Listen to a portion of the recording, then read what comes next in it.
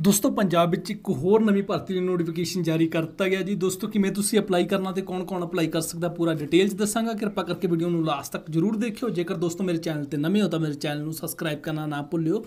Punjab state ਵਿੱਚ ਆਉਣ ਵਾਲੀ ਛੋਟੀ ਤੋਂ ਲੈ ਕੇ ਬੜੀ ਭਰਤੀ ਦੀ ਸਹੀ ਅਤੇ ਸਟੀਕ ਜਾਣਕਾਰੀ ਸਭ ਤੋਂ ਪਹਿਲਾਂ ਪਾਉਣ ਲਈ। ਚਲੋ ਦੋਸਤੋ, ਅੱਜ ਦਾ ਵੀਡੀਓ ਸ਼ੁਰੂ ਕਰਦੇ ਹਾਂ। ਬਾਬਾ ਫਰੀਦ ਯੂਨੀਵਰਸਿਟੀ ਭਰਤੀ 2021 ਨਿਆ ਭਰਤੀ ਦਾ ਨੋਟੀਫਿਕੇਸ਼ਨ ਜਾਰੀ ਕੀਤਾ ਗਿਆ ਜੀ। Post and data entry operator ਦੀਆਂ ਪੋਸਟਾਂ ਲਈ ਤੁਸੀਂ ਅਪਲਾਈ ਕਰ ਸਕਦੇ ਹੋ ਜੀ। ਜਲਦੀ ਅਪਲਾਈ ਕਰੋ ਜੀ। ਸਾਰੇ ਪੰਜਾਬ ਦੇ ਉਮੀਦਵਾਰ ਇਹਨਾਂ ਪੋਸਟਾਂ ਲਈ ਅਪਲਾਈ ਕਰ ਸਕਣਗੇ। ਚਲੋ ਦੋਸਤੋ, ਆਪਾਂ ਚੱਲਦੇ ਹਾਂ ਨੋਟੀਫਿਕੇਸ਼ਨ ਦੇ ਉੱਪਰ। ਦੋਸਤੋ, ਅੱਜ ਦਾ ਨੋਟੀਫਿਕੇਸ਼ਨ ਜਾਰੀ ਕੀਤਾ ਗਿਆ ਜੀ। Baba Farid university of health science Faridkot ਵੱਲੋਂ ਨੋਟੀਫਿਕੇਸ਼ਨ ਜਾਰੀ ਕਰਤਾ ਗਿਆ ਜੀ। ਦੋਸਤੋ ਵੀਡੀਓ ਚੰਗਾ ਲੱਗਿਆ ਲਾਈਕ ਸ਼ੇਅਰ ਜ਼ਰੂਰ ਕਰਿਓ ਜੀ। ਦੋਸਤੋ, ਮੈਂ ਆਪਣੇ ਚੈਨਲ ਦੇ ਉੱਪਰ ਡੇਲੀ ਨਵੀਂ ਤੋਂ ਨਵੀਂ ਭਰਤੀ ਵੀਡੀਓ ਅਪਲੋਡ ਕਰਦਾ, ਤੁਸੀਂ ਮੇਰੇ ਚੈਨਲ ਨੂੰ ਡੇਲੀ ਵਾਚ ਕਰ ਸਕਦੇ ਹੋ ਜੀ। ਦੋਸਤੋ, ਇਹਨਾਂ ਪੋਸਟਾਂ ਲਈ ਅਪਲਾਈ ਜੋ ਤੁਸੀਂ ਕਰਨਾ ਜੀ ਆਫਲਾਈਨ ਅਪਲਾਈ ਕਰਨਾ ਜੀ। ਅਪਲਾਈ ਕਰਨ ਦੀ ਲਾਸਟ ਡੇਟ ਹੈ ਜੀ 7/5/2021 ਸ਼ਾਮ 5 ਵਜੇ ਤੱਕ ਤੁਸੀਂ ਅਪਲਾਈ ਕਰ ਸਕਦੇ ਹੋ ਜੀ। ਦੋਸਤੋ, ਪੋਸਟਾਂ ਨੇ ਡਾਟਾ ਐਂਟਰੀ ਆਪਰੇਟਰ ਦੀਆਂ ਪੋਸਟਾਂ ਨੇ ਜੀ। ਟੋਟਲ ਪੋਸਟਾਂ ਨੇ ਜੀ 10 ਪੋਸਟਾਂ ਲਈ ਤੁਸੀਂ ਅਪਲਾਈ ਕਰ ਸਕਦੇ ਹੋ ਜੀ। ਤਨਖਾਹ ਤੁਹਾਨੂੰ ਡੀਸੀ ਰੇਟ ਦੇ ਅਨੁਸਾਰ ਦਿੱਤੀ ਜਾਵੇਗੀ। ਦੋਸਤੋ, ਪੋਸਟਾਂ ਅਨਾਉਂਸਮੈਂਟ ਕੀਤੀਆਂ ਗਈਆਂ ਨੇ। GGS medical college and hospital Faridkot ਵਾਸਤੇ ਪੋਸਟਾਂ ਅਨਾਉਂਸਮੈਂਟ ਕੀਤੀਆਂ ਗਈਆਂ ਨੇ ਜੀ। ਦੋਸਤੋ, ਇਹਨਾਂ ਪੋਸਟਾਂ ਲਈ ਕੁਆਲੀਫਿਕੇਸ਼ਨ ਕੁਝ ਇਸ ਪ੍ਰਕਾਰ ਹੈ ਜੀ। ਗ੍ਰੈਜੂਏਟ ਤੁਸੀਂ ਕੰਪਲੀਟ ਕੀਤੀ ਹੈ ਐਨੀ ਸਟਰੀਮ ਵਿੱਚ। 10ਵੀਂ ਤੁਸੀਂ ਪੰਜਾਬੀ ਭਾਸ਼ਾ ਨਾਲ ਪਾਸ ਕੀਤੀ ਹੈ।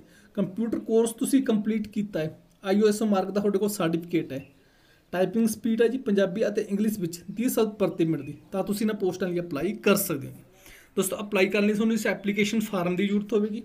ਇਸ ਐਪਲੀਕੇਸ਼ਨ ਫਾਰਮ ਦਾ ਲਿੰਕ ਮੈਂ ਆਪਣੇ description box plus Telegram group ਵਿੱਚ ਦੇ ਦੇਵਾਂਗਾ। ਉੱਥੋਂ ਤੁਸੀਂ ਡਾਊਨਲੋਡ ਕਰਕੇ ਇੱਕ ਵਾਰ ਚੰਗੀ ਤਰ੍ਹਾਂ ਪੜ੍ਹ ਲੈਣਾ ਜੀ। ਪੜ੍ਹਨ ਤੋਂ ਬਾਅਦ ਤੁਸੀਂ ਫਿਲ ਕਰਕੇ ਸਾਰੇ ਡਾਕੂਮੈਂਟਸ ਇਹਦੇ ਨਾਲ ਲਗਾ ਕੇ ਕਿਹੜੇ ਐਡਰੈਸ ਤੇ ਤੁਸੀਂ ਭੇਜਣਾ ਔਰ ਕਿਵੇਂ ਭੇਜਣਾ ਪੂਰਾ ਡਿਟੇਲ 'ਚ ਦੱਸਾਂਗਾ। ਕਿਰਪਾ ਕਰਕੇ ਵੀਡੀਓ ਤੇ ਬਣੇ ਰਹੋ। ਇੱਥੇ ਤੁਸੀਂ ਆਪਣਾ ਡਰਾਫਟ ਨੰਬਰ, ਦੋਸਤੋ, ਜੋ ਅਨਕੰਪਲੀਟ ਐਪਲੀਕੇਸ਼ਨ ਫਾਰਮ ਹੋਣਗੇ ਉਹ ਰਿਜੈਕਟ ਕਰਤੇ ਜਾਣਗੇ ਜੀ।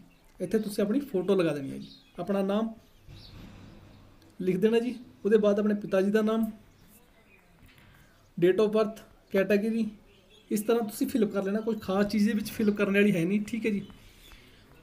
ਉਹਦੇ ਬਾਅਦ ਐਪਲੀਕੇਸ਼ਨ ਫੀਸ ਹੈ ਜੀ। 1180 ਰੁਪਏ। ਜਰਨਲ ਲਈ ਹੈ ਜੀ।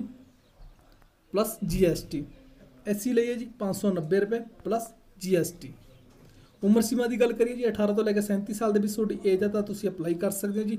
ਏਜ ਰਿਲੈਕਸੇਸ਼ਨ ਵੀ ਦਿੱਤਾ ਜਾਏਗਾ ਡਿਪਾਰਟਮੈਂਟ ਰੂਲ ਦੇ ਅਨੁਸਾਰ। ਦੋਸਤੋ ਐਪਲੀਕੇਸ਼ਨ ਫਾਰਮ ਨੂੰ ਚੰਗੀ ਤਰ੍ਹਾਂ ਤੁਸੀਂ ਫਿਲ ਕਰਕੇ ਸੈਲਫ ਅਟੈਸਟਡ ਕਰਕੇ ਸਾਰੇ documents date of birth qualification permanent address ਸਾਰਾ ਕੁਝ ਉਹਦੇ ਨਾਲ ਲਗਾ ਕੇ ਐਡਰੈਸ ਨੋਟ ਕਰ ਲਓ ਜਿਸ ਐਡਰੈਸ ਤੇ ਤੁਸੀਂ ਭੇਜਣਾ ਨੇ ਜੀ। Medical superintendent GGS medical hospital Faridkot ਦੇ ਐਡਰੈਸ ਤੇ ਤੁਸੀਂ ਆਪਣੇ ਡਾਕੂਮੈਂਟਸ ਭੇਜ ਦੇਣੇ ਨੇ 7/5/2021 ਸ਼ਾਮ 5 ਵਜੇ ਤੋਂ ਪਹਿਲਾਂ ਪਹਿਲਾਂ ਤੁਹਾਡੇ ਡਾਕੂਮੈਂਟਸ ਉਹਨਾਂ ਕੋਲ ਪਹੁੰਚ ਜਾਣੇ ਚਾਹੀਦੇ ਨੇ ਜੀ। ਦੋਸਤੋ, ਉਮੀਦ ਕਰਦਾ ਮੇਰੇ ਦੁਆਰਾ ਦਿੱਤੀ ਜਾਣਕਾਰੀ ਤੁਹਾਨੂੰ ਚੰਗੀ ਲੱਗੀ ਉਹ ਵੀਡੀਓ ਦੇਖਣ ਲਈ ਤੁਹਾਡਾ ਬਹੁਤ ਬਹੁਤ ਧੰਨਵਾਦ।